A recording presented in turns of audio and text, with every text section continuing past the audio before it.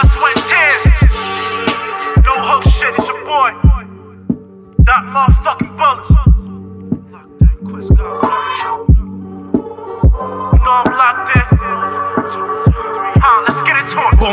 Wish I would've listened to the preacher. I used to do my work and then just walk out on the teacher. Traps hit my line, someone referred me for the reefer. Said he need a dime, I got them pillows plus some cheaper. Pull up with my poppy, get it knocking like his speakers. Tell him hit the nines, cause I just gave a bitch the ether. Shit getting real in my part of town. Jack boys look 10 and 6, ain't no walking around. I'm back, boy. Tell section fam, I'ma hold it down. I'm cooking now.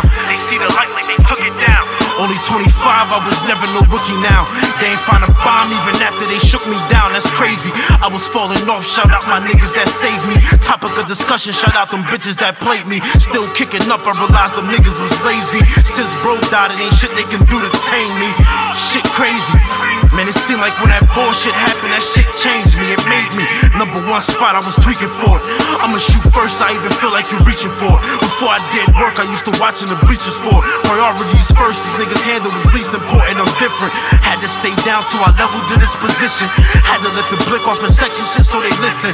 No hook, I handle it hands down. Ain't there nigga taking this crown unless it's hand down. Once I'm on go, it ain't no telling me stand down. I'm hotter than the sun, it wasn't working from fan down.